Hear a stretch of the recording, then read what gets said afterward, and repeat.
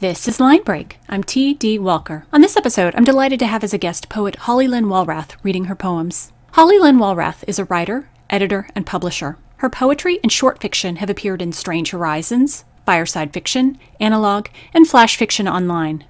She is the author of several books of poetry, including Glimmerglass Girl, 2018, Numinous Lapidi, 2020, and The Smallest of Bones, 2021. She holds a BA in English from the University of Texas and a master's in creative writing from the University of Denver. In 2019, she launched Interstellar Flight Press, an indie science fiction and fantasy publisher dedicated to publishing underrepresented genres and voices. As a freelance editor, she provides editing services for writers and organizations of all genres, experiences, and backgrounds. But she enjoys working with new writers best. A book is a tomb and Words Are Souls by Holly Lyn Walrath. After Sofia Samatar. We traveled a long way to rest here.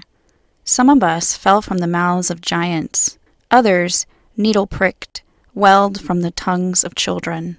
We arrange our bodies in lines for emphasis, like puppets who cry glass and black oil. We try not to think about such petty things as who goes first or last. When combined, we are the light of the world. But there are those who've forgotten our names, or perhaps they never learned. If what they say about us is true, then reading is a prayer, and faith is the monk pricking gold into the corners of our mouths, pressing us between sand and time, striving into the ghost hours of the night, whispering, Remember, remember, remember. Coyote Eats the City by Holly Lyn Walrath.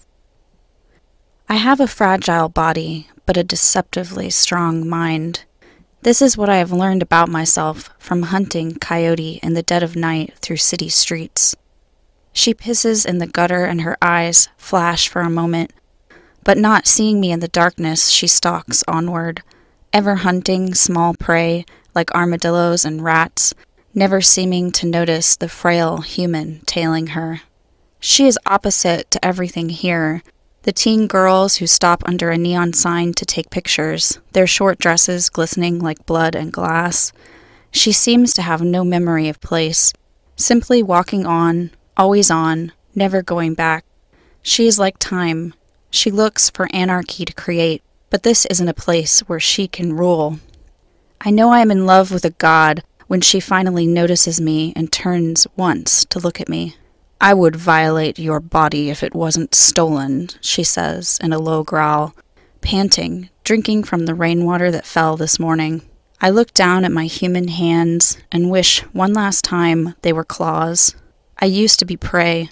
I made myself the biggest predator of all a man.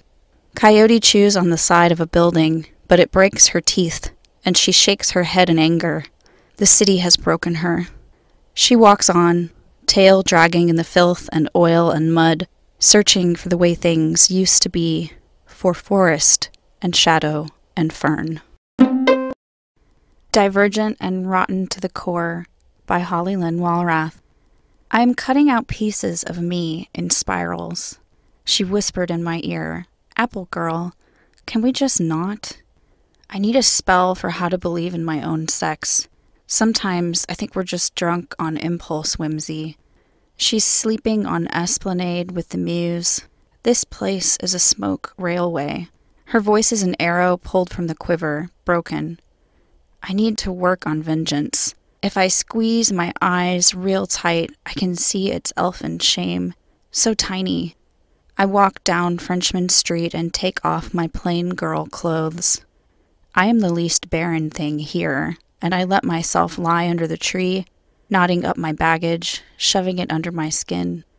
She is panoramic, abandoned house empty. At night we will drink, will drink, null drink, null numb, drunk with love. This has been Line Break. Thanks so much to our guest, Holly Lyn Walrath. For more information about Line Break and to find out more about the poets featured on each episode, visit our website, linebreakshortwave.com. Reception reports are welcome, and we'd love to hear your comments about the show. Send an email to qsl at linebreakshortwave.com. Thanks for listening.